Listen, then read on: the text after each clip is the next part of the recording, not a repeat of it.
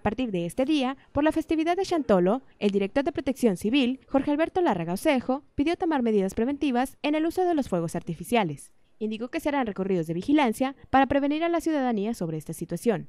En tanto a los que son vendedores de cohetes, ya se les otorgó el permiso para que se instalaran en el estacionamiento de los terrenos de la feria. Reveló que los vendedores cumplen con todas las medidas de precaución que les pidió la Secretaría de Defensa Nacional, pero aún no tienen el día exacto en que se quitarán los puestos.